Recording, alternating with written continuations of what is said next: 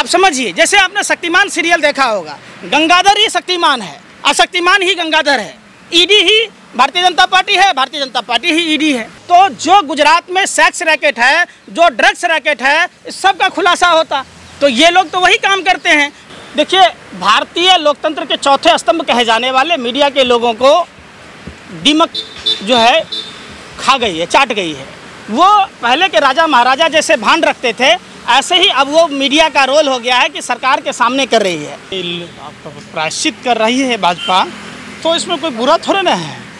चलो, देर से ही सही। भाजपा, आरएसएस के लोगों को ये समझ में तो आया कि तिरंगा भारत का शान है। ये वही भाजपा, आरएसएस के लोग हैं जो बावन सालों तक अपने कार्यालयों पर झंडा नहीं फहराया, तिरंगों को अपने पैरों तले रौंदा। आज सद्बुद्धि आई है इसलिए उनका स्वागत है। इस बात का विरोध नहीं किया जाना चाहिए। कुछ लोग विरोध कर रहे हैं हर आदमी की अपनी अपनी सोच है। मैं तो कहता हूँ भाजपा आरएसएस के लोगों को अगर ये सद्बुद्धि देश की आज़ादी की लड़ाई जिस समय चल रही थी उसी समय आई होती तो ये देश के साथ गद्दारी नहीं कर रहे होते। गोरे अंग्रेज़ों के दलाल नहीं होते मुखबिर नहीं होते। कम से कम आज़ादी के 75 साल में ये सद्बुद्धि भाजपा को आई है। इसके लिए भारतीय जनता पार्टी को धन्यवाद। उनके साथ खुशियाँ कौन मना कर रहा है? आप अगर देश के लिए काम करेंगे, हर आदमी करेगा। हम तो विरोध ही सिर्फ़ इस बात का करते हैं कि आप सिर्फ़ तिरंगा मत बांटिए। तिरंगा फहराने की ही बात मत कीजिए। तिरंगे के महत्व को समझिए कि देश में तिरंगा ही चलेगा, दुरंगा नहीं चलेगा। ये जो भारतीय जनता पार्टी का झंडा और नियति जो दुरंगे की है, इसको आप छोड़ दीजिए। तिरंगा जो रियल में तिरंगा का संदेश है उस संदेश को भी मोदी जी को भगवान सदबुद्धि दे। इसके पीछे भी कुछ क्या? है बीजेपी बिल्कुल। सबसे पहले मोदी जी को तो ये बताना चाहिए कि हमारा तिरंगा खादी के कपड़े का बना होता है और उन्होंने खादी ग्रामोद्योग जो समितियाँ हैं उनको ना दे के चाइना को क्यों ऑर्डर किया है? तो तिरंगे का महत्व तो यही समझ में आ रहा है कि वो क्या अहमियत दे रहे हैं। और उन्होंने तिरंगा के प्रति जो झूठा राष्ट्रवाद परोसने की कोशिश की है वो पूरा भारत का आवाम एक एक आदमी भारत का कन कन में आदमी जानता है कि ये लोग झूठ और फरेबी लोग हैं और ये लोग सिर्फ़ और सिर्फ़ राजनीतिक फ़ायदा के लिए इस तरीके का तिरंगे का महत्व दे रहे हैं। ये वही लोग हैं जो तिरंगे को अपने पैरों तले रौंदा था अपने कार्यालयों पर झंडा नहीं फहराया था तिरंगे का अपमान करते थे ये वही लोग हैं। विपक्ष के लोग आजकल ईडी से बड़ा डर रहे हैं। आप हमको एक बात बताइए पाँच हज़ार चार सौ से अधिक मामले ईडी में है। तो आपने कह दी असम के मुख्यमंत्री पर कभी ईडी की कार्रवाई होती थी? तो डरा नहीं तो भाजपा में कैसे गया? और भाजपा उसको मुख्यमंत्री कैसे बनाया? ईडी आसाम के मुख्यमंत्री पर कार्रवाई क्यों नहीं कर रही? बंगाल में आप आइए। जो शुभेंदु अधिकारी पर ईडी की कार्रवाई हो रही थी, वो ईडी अब चुप क्यों है? जो नारायण राणे जी पर कार्रवाई हो रही थी अब भारतीय जनता पार्टी में वो मंत्री कैसे हैं? अब ईडी चुप क्यों है? ईडी तो ऐसे व्यवहार कर रही है ईडी का नाम बदलकर भारतीय जनता पार्टी रख देना चाहिए। आप समझिए जैसे आपने शक्तिमान सीरियल देखा होगा गंगाधर ही शक्तिमान है अशक्तिमान ही गंगाधर है। ईडी ही भारतीय जनता पार्टी है भारतीय जनता पार्टी ही ईडी है। अब तो सुप्रीम कोर्ट ने भी कह दिया कि ईडी गिरफ्तारी कर सकती है उसको। ये सुप्रीम कोर्ट या कोई भी संवैधानिक संस्था कोई अपने आप अपने स्वविवेक से कोई फैसला लेता है क्या देश में अब? अच्छा अब सुप्रीम कोर्ट में भी शक है आपको? आपको नहीं है? आप एक बात बताइए राफेल का फ़ाइल दबाने के लिए ही राफेल में जो घोटाला था इसीलिए ना रंजन गोगोई को चीफ जस्टिस थे ना वो? तो उनको राज्यसभा में कैसे भेजा गया? आप बता दीजिए। एक हम ही तो नहीं कह रहे हैं। आप ही बताइए कि क्या बात है क्या क्यों नहीं चौकीदार चोर है कह सकते हैं हम? आदमी बुद्धिजीवी आदमी इसने भेजा बुद्धिजीवियों की बुद्धिजीव खा गई है तभी तो वो देश के प्रति नहीं सोच रहे हैं। वो सरकार की दलाली कर रहे हैं। इसलिए तो सवाल उठता है। सवाल जो उठता है सुप्रीम कोर्ट क्यों नहीं संज्ञान लेती है हर मामले में? आप महँगाई को लेकर सवाल उठाते हैं। टीवी कह रहा सबसे कम है पूरी दुनिया में भारत में महँगाई। कौन कह रहा? TV TV. टीवी कैसे नहीं कहेगा? जो हराम का खाता है वो भाजपा का गुण गाता है। पहले तो ये कहा जाता था कि जो अपने माता पिता के होटल में खाते हैं जो भीख मांग कर खाते हैं जो ये करके खाते हैं, उसको महँगाई नज़र नहीं आती। अब तो भिखारियों को भी महँगाई नज़र आने लगी है। और माँ बाप के घर में खाने वाले लोगों को भी महँगाई का बोझ पड़ा है। ऐसा पहला बार हुआ है आज़ादी के पचहत्तरवें साल में कि महँगाई चरम पर है। दूध पर, दही पर, पनीर पर, अंतिम क्रिया के सामानों पर भी जीएसटी लग गई है। यहाँ तक कि बच्चे जो किताब कॉपी पढ़ेंगे, उस पर भी जीएसटी लग गई है। स्याही पर भी जीएसटी लग गई लग गई है। तो आप समझ ही सकते हैं। आपने कहा कि महँगाई बहुत बढ़ गई है। टीवी वहीं पे आज क्या दिखा रही है पूरे दिन पता है आपको? क्या? समिति ईरानी और सोनिया गांधी में हुए। उसको महँगाई लगती तो महँगाई के मुद्दे को लेकर चलती वो तो सोनिया गांधी और समिति ईरानी दिखा रही है। देखिए भारतीय लोकतंत्र के चौथे स्तंभ कहे जाने वाले मीडिया के लोगों को दीमक जो है खा गई है चाट गई है। वो पहले के राजा महाराजा जैसे भांड रखते थे ऐसे ही अब वो मीडिया का रोल हो गया है कि सरकार के सामने कर रही है। एक बात बताइए भारत की मीडिया उस समय डिबेट क्यों नहीं करती है जब अडानी के पोर्ट पर कंटेनर का कंटेनर हेरोइन पकड़ा जाता है? जब उसी गुजरात में बार बार हेरोइन की खेपें पकड़ी जाती है, उसी गुजरात में जहरीली शराब से कितने लोगों की मौतें हुई है, उस पर कोई डिबेट नहीं होता। डिबेट तो उस पर भी नहीं होता है कि उसी उदयपुर सिटी में महिला मंत्री के होते हुए भाजपा का जिला अध्यक्ष नशे में धुत होकर था।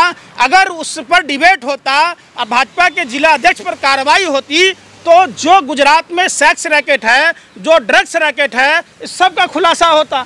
तो ये लोग तो वही काम करते हैं। टीवी आपने डिबेट करते देखा है कि मेघालय में भारतीय जनता पार्टी का प्रदेश उपाध्यक्ष बनाड नाबालिग लड़कियों से देह व्यापार कराता। राम और कृष्ण की बात करके ये चकला घर चलाने का काम करेगी, बाढ़ चलाने का काम करेगी। हथियारों की सप्लाई करने का काम करेगी, भारत की खुफिया जानकारी पाकिस्तान देने का काम करेगी।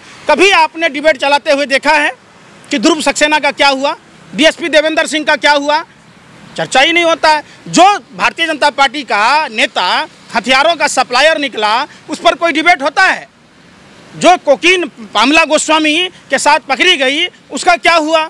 ये सब बात कौन बताएगा? तो मीडिया के लोगों को क्या चाहिए? अंबानी अडानी के कंपनी का विज्ञापन सरकारी विज्ञापन और सरकार ने पूरा का पूरा खजाना खोल रखा है विज्ञापन के लिए। तो ये लोग विज्ञापन लेने के डर से सरकार के से सवाल नहीं पूछते। सरकार से सवाल पूछना जो शासन में है सत्ता में है जिसके हाथ में पावर है मीडिया का काम है तो मीडिया तो अब क्या बताऊँ आपको? मीडिया का स्तर इतना गिर गया जितना झुमका नहीं गिरा बरेली के बाज़ार में। लेकिन आजकल मोर्चा स्मृति ईरानी ने संभाल रहा स्मृति ईरानी क्या संभालेंगे? आजकल एल यूनिवर्सिटी का सर्टिफिकेट तो आज तक नहीं दिखाई।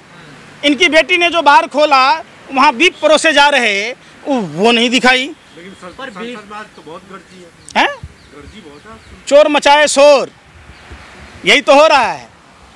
आप बताइए ना क्या गरज रही है? कभी स्मृति ईरानी महँगाई के मुद्दे पर जैसे ये चूड़ियाँ लेके घुमा करती थी तो आज ये चूड़ियाँ क्या कम पड़ गई स्मृति ईरानी के पास? ये चूड़ियाँ नहीं दिखा रही है क्यों नहीं दिखा रही है? आप बताइए ना, क्या चूड़ियाँ कम पर गई? आज प्रधानमंत्री को क्यों नहीं भेज रही हैं? आज देश की अर्थव्यवस्था का क्या हाल है? देश में मंदी है, देश में बेरोजगारी है, भूखमरी है, आप कह रहे तो आप गरजिए ना गरजिए ना जाके वहाँ, जहाँ से हेमा मालिन सांसद हैं। अमिताभ बच्चन ने देखे थे ना धर्मेंद्र का?